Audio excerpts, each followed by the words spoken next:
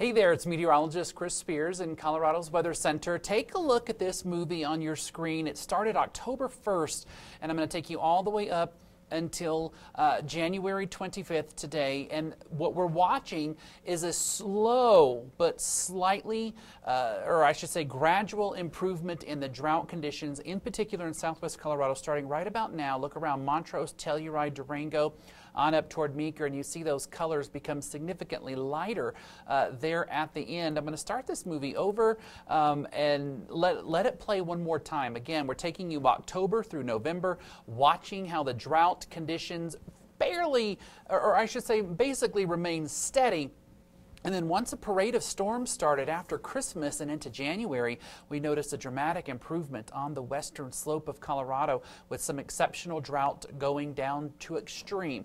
Now, we are not out of the woods. I want to be clear about that. There is a long way to go before we reverse this drought, but it's a small dent. It provides hope and fingers crossed that we'll keep a busy storm track as we go into the rest of winter and spring and turn things around in our state.